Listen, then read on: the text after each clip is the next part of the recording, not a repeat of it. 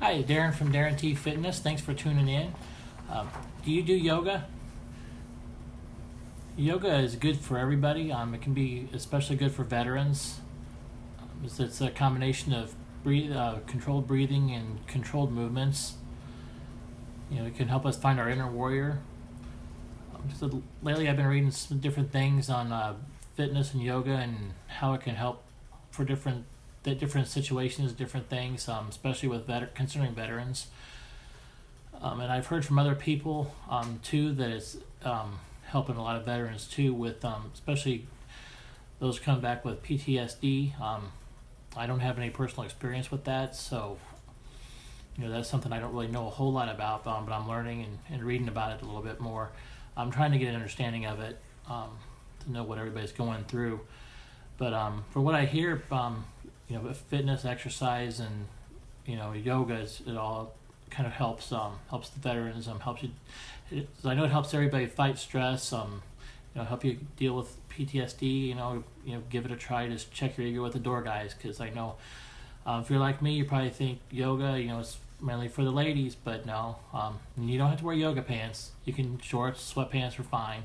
Um, there's all different kinds of yoga out there. Um, you can just get a DVD or a, a book um, on yoga, um, read up on it a little bit. Um, you can just do it at your in your privacy of your own home um, if you want to. Um, if you're kind of embarrassed to try it out and you know in front of other people, um, that can be a little nerve wracking because you're afraid you're not going to do it right. But it's it's challenging at first. It's not too difficult once you once you do it a couple times. Um, you can even just start out with just some light meditation, five or ten minutes. to sit there and just you know quiet and just close your eyes and you know you don't have to chant or anything or anything like that. Um, but just try to clear the thoughts out of your head. Um, and you know then once once you get your DVD or book or whatever, or if you want to go to a class, just you know maybe talk to the instructor ahead of time or something and see if maybe there's maybe get a private lesson or something and learn some of the moves first um, to see you know so you can kind of practice them on your own.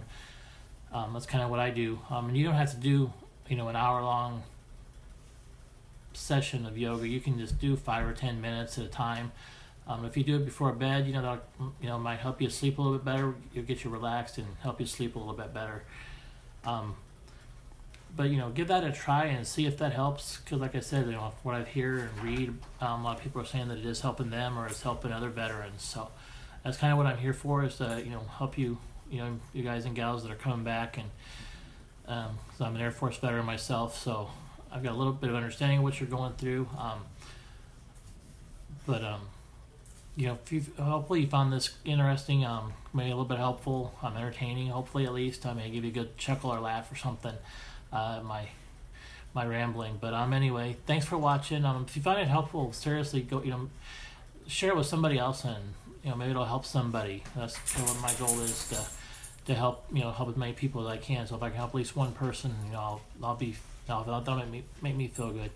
Um, but you know, please share. Um, if you have any comments, reach out. You know, questions or anything like that, reach out to me, please. And uh, thanks for watching, and we'll see you on the next video. Thanks. Have a good one.